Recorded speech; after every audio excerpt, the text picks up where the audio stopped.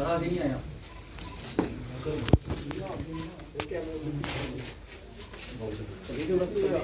बोली बाबा चमलेवाल की बाबा तलाई वाले की बाबा छक्कर वाले की।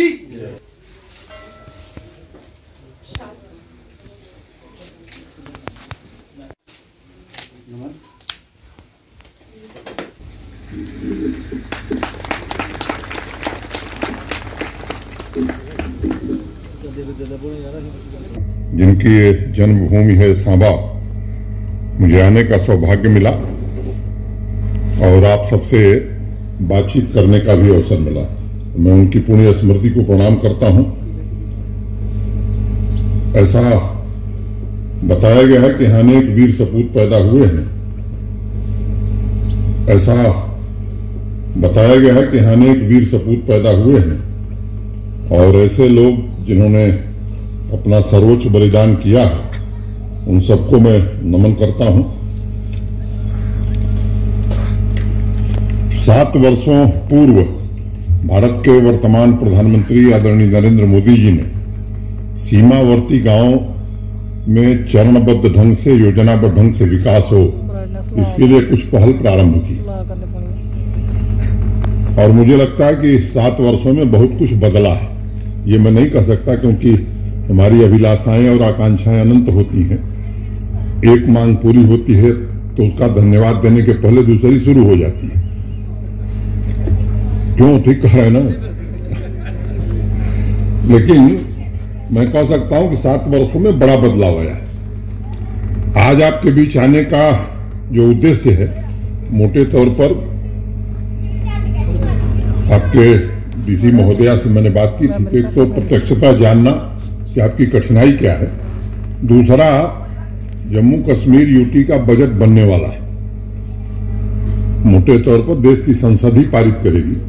तो बॉर्डर के जो गाँव हैं या जो लोग सीमा पर रहते हैं, उनके लिए बजट में क्या प्राविजन किया जाए ताकि यहाँ कम से कम जो न्यूनतम एक सभ्य समाज की नागरिक आवश्यकताएँ हैं, अच्छी सड़क बिजली, पीने का स्वच्छ पानी, पढ़ने के लिए विद्यालय, और हर गाँव में तो चिकित्सालय नहीं हो सकता है, लेकिन समुचित दूरी पर चिकित्सा का ये इंतज़ाम, ये मोटे तौर पर हो सके, ये मुख्य रूप से मेरे मन में एक भाव था जिसके कारण हम आए और निश्चित रूप से आने वाले दिनों में ये बॉर्डर विलेजेस के लिए जम्मू कश्मीर यूटी के बजट में भी एक प्रोविज़न हम सब इस साल करने जा रहे हैं, ताकि यहाँ के कामों को द्रुत गति से आगे बढ़ाया जा सके, जो भारत के सम्मानित प्रधानमंत्री जी की इच्छा है।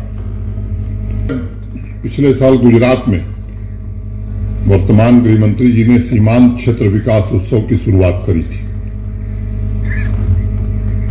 मुझे लगता है कि अब ज़रूरत है कि जम्मू कश्मीर में भी उस सड़क के उत्सव, ये सीमा के गाँव में प्रशासन के द्वारा चुने हुए प्रतिनिधियों के द्वारा